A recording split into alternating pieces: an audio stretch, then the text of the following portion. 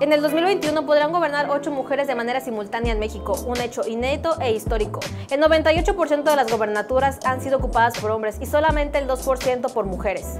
25 de los 32 estados nunca han sido gobernados por una mujer. En marzo pasado, la magistrada electoral Mónica Aralí Soto Fragoso mencionó que las principales causas por la falta de mujeres en estos puestos es porque son cargos de mayor poder y están estereotipados por hombres.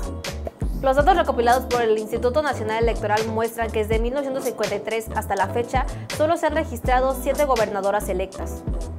Considerando a Claudia Sheinbaum en la jefatura de gobierno de la Ciudad de México y Claudia Pavlovich Arellano en Sonora, Griselda Álvarez Ponce de en Colima, Beatriz Paredes Rangel en Tlaxcala, Amalia García Medina en Zacatecas e Ivonne Ortega Pacheco en Yucatán. En el 2018, la candidata del PAN a la gobernatura de Puebla, Marta Erika Alonso Hidalgo, fue electa. Sin embargo, días después falleció en un accidente aéreo. A estas mujeres se les suman dos gobernadoras que llegaron al puesto en calidad de provisionales, Dulce María Saurí en Yucatán y Rosario Robles Berlanga en el entonces Distrito Federal.